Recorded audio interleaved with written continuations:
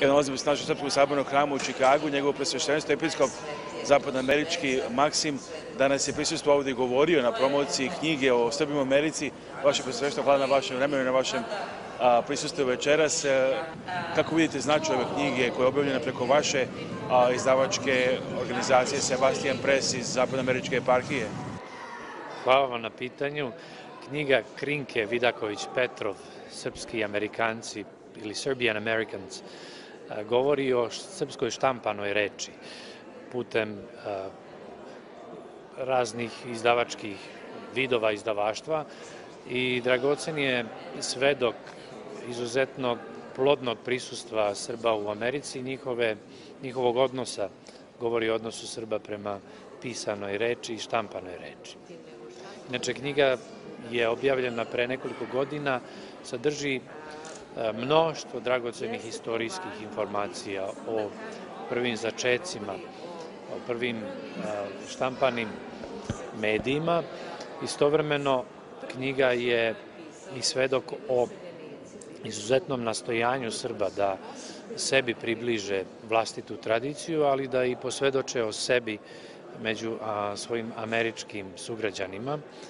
I u tom smislu, kao plod izuzetnog istraživanja, dubokog, e, sveobuhvatnog, rekao bih. E, knjiga Krinke Vidaković-Petrov e, zaslužuje da bude na policama svakog srpskog doma, ne samo u Čikagu, gde je večeras održana promocija, nego i svim drugim krajevima Amerike. Prepostavljam da nije bilo ni teško doneti odluku da objavite ovakvu jednu knjigu preko vaše izdavačke organizacije Sebastian Press, koja već ima i nekoliko različitih knjiga. Koje su vrste knjiga koje se objavljuju preko vaše izdavačke preduzeće u okviru Zapadnoameričke eparhije? Pa, izdavačka kuća Sebastian Press, inače dobila ime po znamenitom srpskom misionaru, jeromonahu, svešteniku, dakle, prvom srpskom, prvom uopšte rođenom pravoslavnom svešteniku u Americi. Do sada je objavila blizu stotinu naslova, e, biblioteka obuhvata više edicija, među njima je značajna edicija Savremena hrišćanska misao, gde smo objavili više od 50 knjiga, kako srpskih, uglednih pisaca, autora, episkopa, teologa, među njima Nikolaja Velimirovića, Justina Popovića, Atanasije Jeftića, Amfilohije Radovića, ali i bogoslova manje mlađe generacije. Isto tako imamo i biblioteku Serbika Amerikana u okviru koje je do sada deseta knjiga objavljeno, koje na svoj način svedoče, potvrđuju naše e, prisustvo i stvaralaštvo u ovome svetu. Postoji i edicija za decu. Knjige su uglavnom na engleskom jeziku. E, želimo da na taj način upoznamo Amerikance o živom duhovnom književnom stvaralaštvu e, pravoslavnih Srba. Knjiga Krinke Videković Petra može se naći i na Amazonu, znači širom Amerike pa i sveta. Da li se ostale knjige mogu naći na taj način ili se mogu potražiti na web sajtu? Više informacija o knjigama? U epohi elektronskih medija sve, naša, sve naše knjige se mogu nabaviti elektronskim putem, dakle putem interneta, a naravno jedan deo njih se nalazi u knjižarama, to jest knjižarama u Srbiji, a evo knjigu Krinke kao i ostale možete da naručite preko Amazona i preko Sebastian Press web sajta.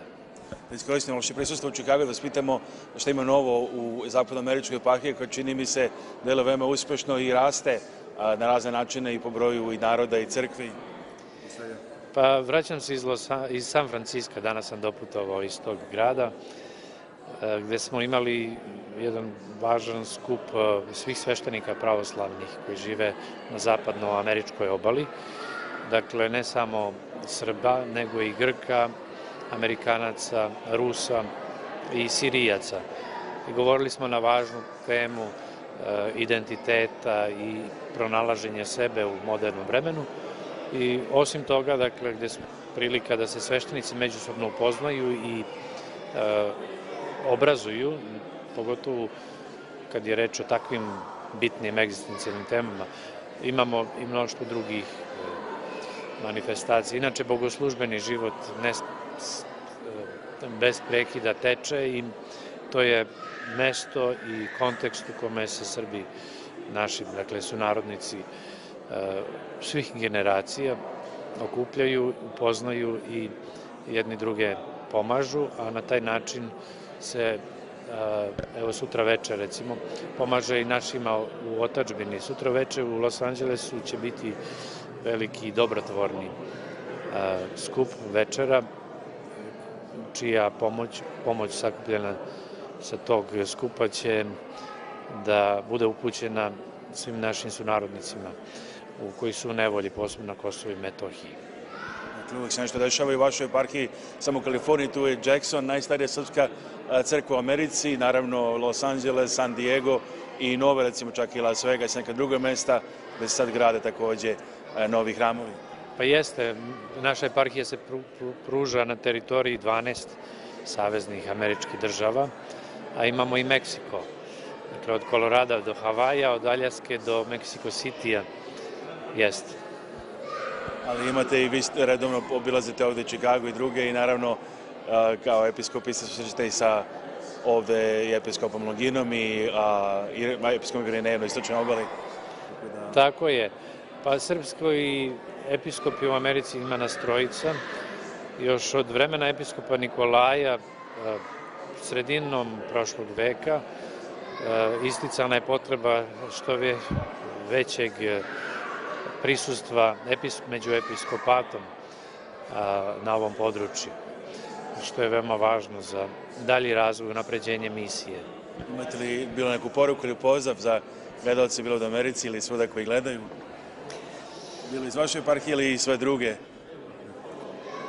Pa, u, upravo čuh da je na današnji dan pre nekih 135 godina akreditovan prvi srpski diplomata u Americi, što je takođe jedan od bitnih datuma za, u našoj istoriji na ovom području. U tom smislu treba da se prema istoriji i prošlosti našoj odnosimo sa poštovanjem, da je uvažavamo i da je što bolje upoznajemo. To je bila poruka u svetlu večerašnje prezentacije knjige Vidaković Petrov Krinke, Serbian Americans ili istorija srpske štampane reči.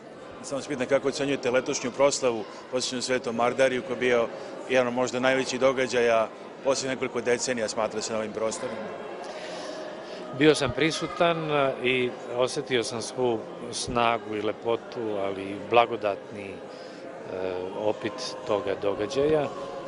Samo dve godine pre toga u Los Angelesu je bila slična crkvena proslava svetog Sevastijana Jacksonskog i San Franciskog. Dakle, Srbi doprinose Americi ne samo kroz stvaralaštvo umetničko i na polju, da kažem, ekonomije i tako dalje, nego u izvesno u bitnoj dimenziji svetiteljstva.